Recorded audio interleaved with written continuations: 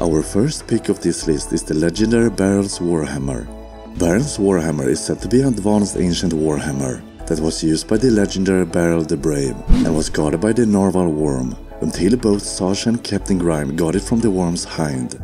The hammer is completely made of grey metal, has a large head with runes carved in the face with a rocket booster on the opposite side, and is mounted on a purplish grey staff. When in use, it glows in pink runes. The hammer was owned by the legendary toad warrior Barrel the Brave, who wielded it during and after his career as an Newtopian guard.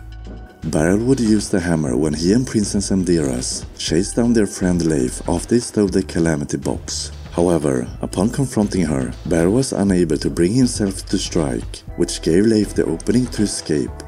Don't do it, Grime. I'm your father. Oh, Daddy, is it really you? Yes, son. Let me now go and get your mother over there, and you you stay here. Okay then. Wait a minute, I ate my dad.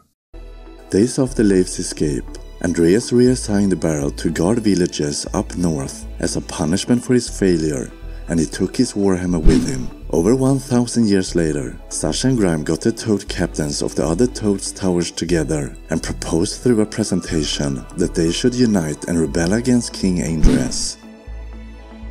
Here are you, and this is Big Bad King Andrias.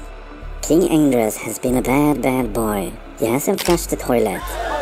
He took the last donut without asking, and he even cheated in the yearly eating competition. So we propose that we overthrow King Andrias, and then we all can have a big great party in the castle, and eat candy whenever we want. What do you think about that? The Toads captains agreed on one condition. In order to earn the Toads captains' loyalty, they had to claim the Warhammer. Sasha and Grime were successful in retrieving the Warhammer, and by doing so gained the loyalty of the Toads captains. Grime later used the hammer to strike down King Andrias, and threatened to use it to crush his head so the Newtopian army would surrender and the rebellion could begin. He later used it against Sprig, who after knocking Grime off his feet, surprised the toad by lifting it. However, its rockets threw Sprig away, knocking Grime out.